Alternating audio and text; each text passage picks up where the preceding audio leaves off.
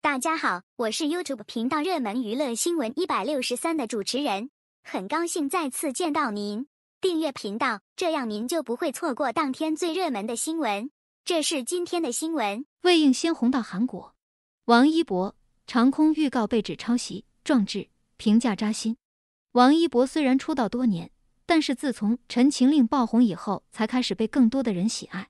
现在他对自己的演艺道路有了长期规划，在演员的道路上走得越来越坚定。上半年，王一博长期在剧组拍电影，下半年终于传来了好消息，他主演的多部电影将会在国庆档上映，这可把粉丝们高兴坏了。在几部电影当中，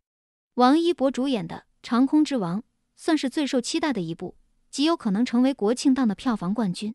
但是人红是非多，在还没官宣定档之前。就已经有王一博的粉丝预见，在电影上映前后会有一波负面消息传出来，没想到还真被预言成真了。除了之前有网友传出公司要求包场看电影的消息后，现在《长空之王》最新的预告当中，王一博回头看队友的镜头，又被指抄袭美国经典大片汤姆克鲁斯的《壮志凌云》。在看预告的时候，这个镜头除了展示王一博和战友的帅气之外，两人的战友情也让大家印象深刻，但是没想到被韩国网友发现，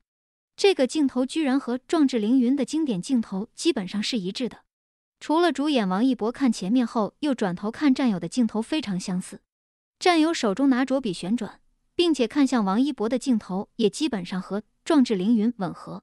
画面曝光在韩网引起了不小的争议，有韩国网友对此的评价非常扎心，直接批评《长空之王》是假货。更有网友表示，《长空之王》演员的演技不怎么样。这一次，王一博的《长空之王》未上映先火到韩国了。只不过，对于这样的事情，不知道对这部电影的票房是正面还是负面呢？读者朋友们，你们觉得这个镜头有抄袭的嫌疑吗？你们会去电影院支持《长空之王》吗？未上映先红到韩国，王一博《长空之王》新预告超帅镜头被指抄袭，壮志凌云，评价扎心。